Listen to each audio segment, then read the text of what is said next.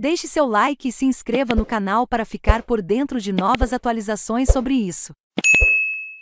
Nas estreias do Sub 15 e Sub 17 na temporada, Flamengo e Fluminense empatam duas vezes pela Copa Rio.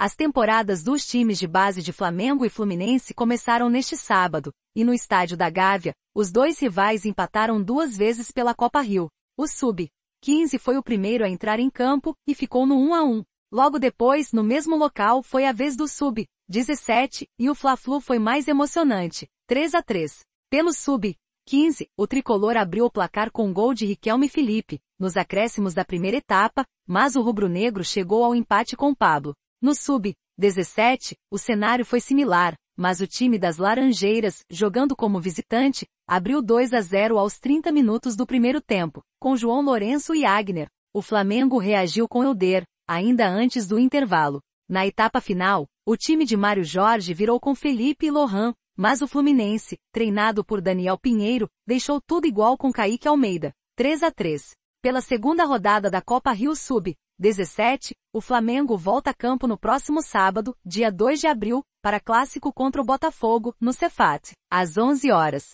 O Fluminense recebe o Madureira, no Vale das Laranjeiras, no mesmo dia e horário. Já pela Copa Rio Sub 15. A dupla Fla-Flu enfrenta os mesmos adversários citados acima, nas mesmas datas e locais, mas às 9 horas.